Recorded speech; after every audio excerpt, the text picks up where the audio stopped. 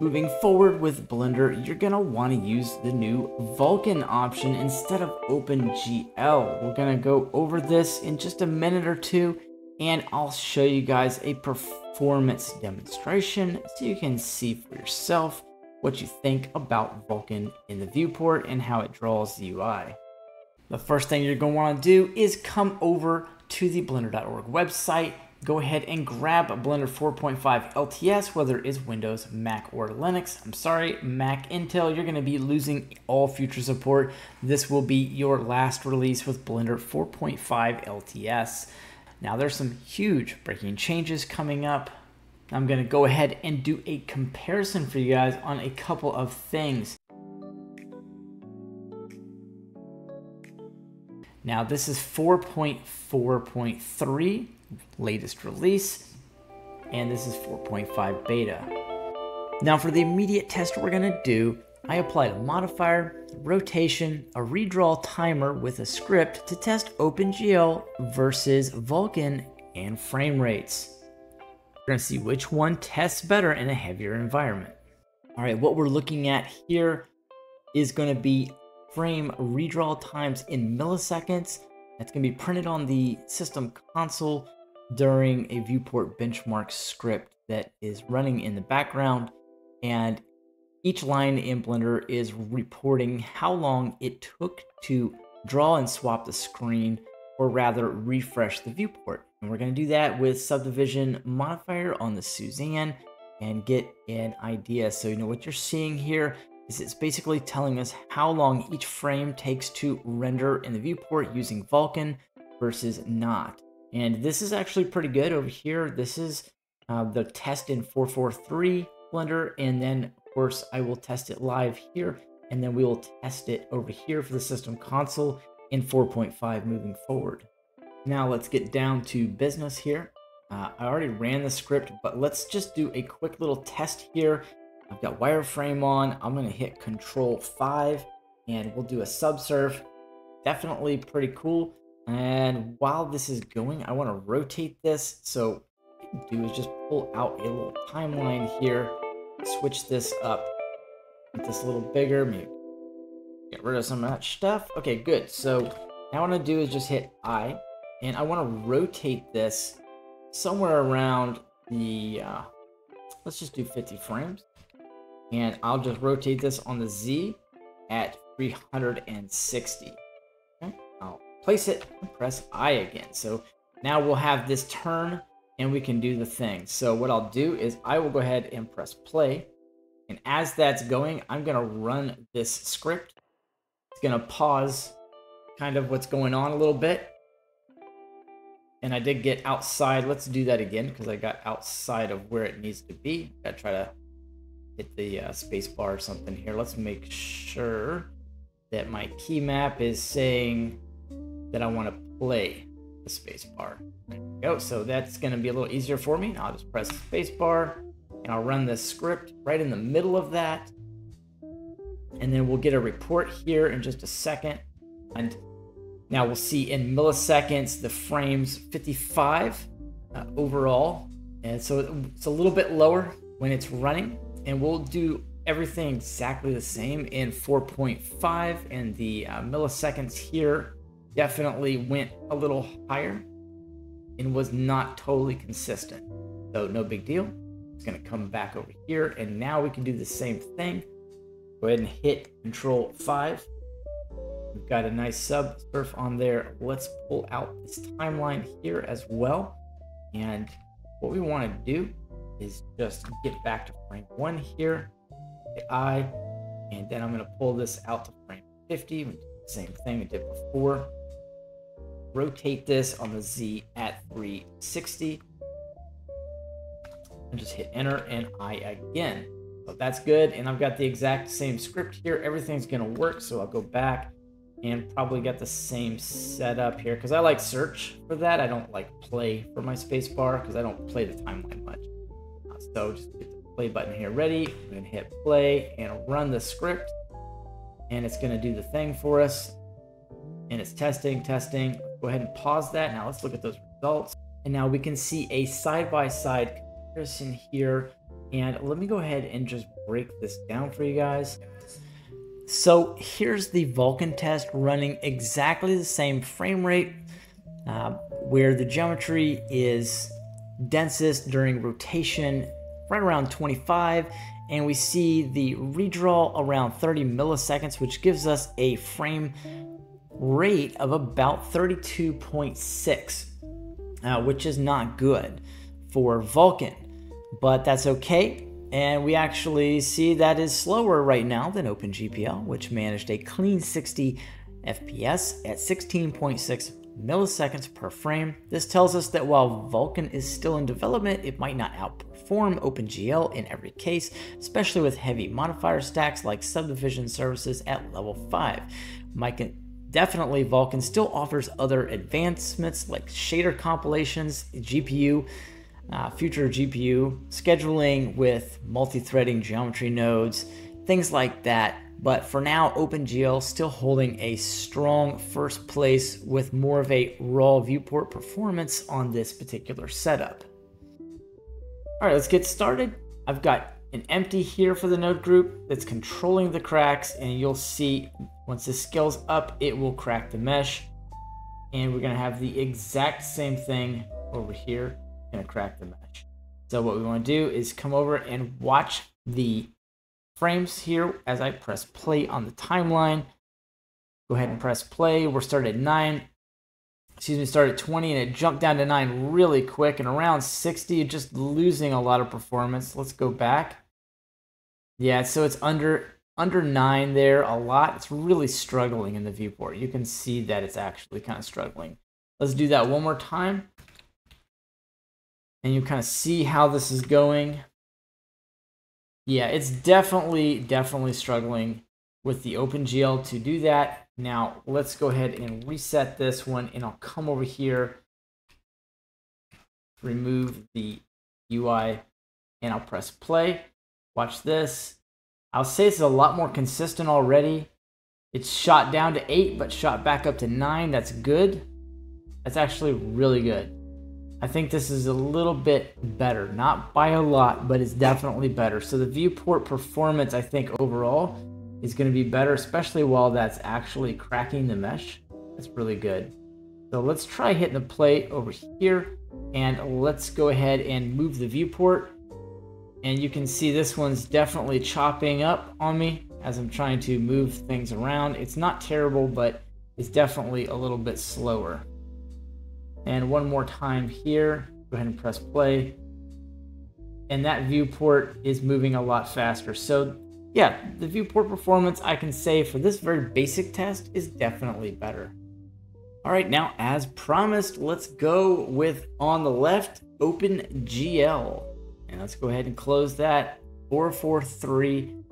All the settings are going to be the exact same here. It's the same file. I basically just saved it and opened it in 4.5. And don't forget, you've got to juggle to put Blender 5. Uh, it'll Blender 4.5 will open 5. Okay, but you cannot open any other Blender in 5 moving forward. The structure is totally changed. Um, we'll go over that as well too. So go ahead and hit play. We're gonna give this one cycle through the timeline because it's kind of how you got to do it in Blender. Just let it do it, even though this has been baked. And then we'll take a look at this. I think the frames just dropped to 23 there. That's not terrible. 20, 22. It's kind of chopping up just a touch. Okay, so that doesn't really look great. No big deal. Let's allocate our resources over here. This is Vulkan with my NVIDIA GeForce 3060. And let's go ahead and press play. Now we'll let this cycle one time. And I gotta say that already looks a lot better. The timeline is jamming around 24, 25, 27. Okay, so that's much higher. Did jump to 22 for one second, but that's nothing compared to how slow it was over in 443. That's a lot better. And credit to Thomas Marcos for fixing the random walk black lines. This is a before, you can see where the arrows are pointing, and then we will look at the after and do a quick comparison. What a big difference this makes. you know, in final renders. So now this is after, and you can see all of that is gone and corrected. Here's before. Take a look at that. Looks like it got punched. And after. So that's a huge update for the random walk shader. Now, on another note, as far as renders go, there's been another change, which is a feature that is deprecated. It's gone. So now, if you were to come over here to World and we wanted to go and throw in the top sky texture, go ahead and throw this in here, you will see that the I can't pronounce it. The Hoseki Wilkins and uh, the Preetham are gone. Those aren't there anymore. You'll have the Nishita Sky, which is fine. And if we go ahead and just type in sky texture here as it would go, and you would want to plug this in uh, to world, obviously, you wouldn't want that over here. Uh, but here we go. So now you would have the Nishita only moving forward in Blender 5. That one is gone. I'm a little sad. I know it's outdated and they weren't photorealistic, but they did provide some cool effects. So bye bye to that. All right, I switched things up on you guys. Uh, what we've got is the compositor open in 5.0 alpha and 4.5 beta LTS. What do you notice? There's going to be a little bit of a difference here when we went to click nodes. Uh, this was kind of standalone. This wasn't really transferable. Now we have something that is actually line with geometry nodes and looks the same. We click new nodes, we get that. Now in the compositor, guess what? Now we've got the same setup and look at this. You'll have compositor, excuse me, compositor node trees. That's gonna make a lot of people happy when they're building add-ons, especially me. And I might even add something to the EVB add-on, something I was offering on my Gumroad a while back. It was cool. It was when the uh, bloom was going away and we had Eevee bloom just disappear, right? So now instead of the use nodes with this little checkbox, you're gonna have this set up. I think it's gonna be much better. Now the compositing node rotate also got a change and it's not gonna say degree, it's now gonna say angle for that socket. Now this next change is interface related, but it's going to impact your workflow, I think, in a really good way. Edit preferences, let's go to themes, go to user interface, let's come on down to tab. Now, I've already done a slight change. I don't know if you can notice it or not, but you will now. Now you have a unified uh, operator behind the scenes changing the theme everywhere in all tabs, all windows. So now this can be changed. I kind of like this slight highlight right here is kind of, uh, it just, I think it's a little bit better on the eyes to have a little bit of a separation between each one of these and not just one big extra block, even though they were individual tabs. Definitely beforehand, if you have it like this, it, you can't see it. And now with just a little bit of separation right there, it's actually easier on the eyes. And now for the selected, you can actually just change that, maybe just a little bit brighter, maybe a little blue and whatever is actually selected, you'll know exactly which workspace you're in, and that's going to be great. Oh, yeah, and another cool thing uh, you'll be able to actually do now that I'm in the UV editing space, go ahead and throw in little Susie here, and you'll notice that I am able to select the object and see a UV map overlay. The active object will be the one on top, so if I select this, you'll see this one, and it's going to be by default moving forward in Blender 4.5 LTS. And it's actually, I think it came in at 4.3. Uh, not too many people noticed probably, but this is definitely a neat game changer too, because now you'll be able to see those overlays very quickly. Now this is Blender 4.2. Not sure if you can see it, but the outline here, sometimes when you move the viewport, the color theme would match. We don't like that, never did. And your panel would kind of get lost in translation. But moving forward, Blender 5 doesn't do that. It, by default, not a new setting. Uh, by default, in the edit preferences themes, you're gonna see that this now has an outline and you'll be able to see it. Let me see if I can move this up so you can see the outline a little bit better. Uh, yeah, so now you don't lose it when you go to uh, this position here. Normally that would blend in as the same color, but now there's a distinct outline there, which is cool. And just for a user tip, control middle mouse, you can turn this into a 4K panel, move it up and down, and just hover the mouse over and press home to reset it back to its default size. And on another interface note, now you can snap the sidebar and just show tabs, which is cool because before it was like this, right? It was all or none, or maybe even, you know, you just kind of pull it out a little bit and you're like, eh, I'm just ghost the panel back a little, and then it would be hard to grab. So now this is going to make a lot more sense and it's going to come back automatically when you do that. Don't forget, guys, you can always pin something to your uh, sidebar here. And then as you go down through tools, your transform's still here. We could just move this thing up and have a more efficient workflow. So if I go to view and I just need all of these to show, then they will. And of course, you could just collapse them down if you're not using them and condense for space. Now let's finish up the compositor updates. Here is a list of new nodes for 4.5 LTS. We've got the add vector math, you've got rotate, mix, value mix, clamp, float curve, and black body. All great additions to the compositor. And of course, we now have the new image info. We have a new image coordinate as well.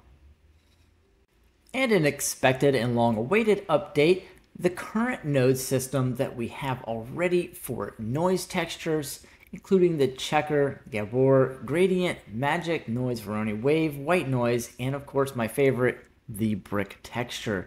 All these are now available in the compositor. And of course the advancements with the blur node, extremely important and very useful. Compositor node updates. Socket support for Boolean sockets. Clamp was added to the glare node. Interpolation scale mode was changed. The denoise now supports GPU. Interpolation was added to the corner pin node and backdrop gizmos for the ellipse mask. And keeping suit with the current progress and direction, Blender is now exposing single values as inputs. This will allow you to have new combinations in the compositor like never before. And I'll let you guys go ahead and pause the video here and just read this over as some final updates to the compositor moving forward with Blender 4.5 LTS to 5. I appreciate everybody being here, and just a couple of honorable mentions here. One, the blur node with the fast Gaussian. It's a lot more accurate. This looks tremendous, and it won't do some of that artifact style flickering that it was doing before. So now you've got a lot more to look forward to when you use the blur node. Now, if you'd like to jump over to Superhive Market, formerly Blender Market, and support me, you'll find a number of different add-ons here you can get. These will contribute to the Blender Development Fund. I've got things for reference software, preventing crashes, and IES add-ons, things that join with bevels and procedural cracks, along with some other cool tools down here and my collaboration buddy Sam and I have put together a number of powerful add ons to supercharge your workflow. And of course, over here at Sam's page, you'll take a look at some powerful add ons like GIF Maker. You can make loop animations in Blender in just a few clicks. Stack Animation, which just came out, which is a really powerful add on for adding a whole lot of different animations very, very quickly. These things are great. There's a tutorial here. Even a beginner can use this.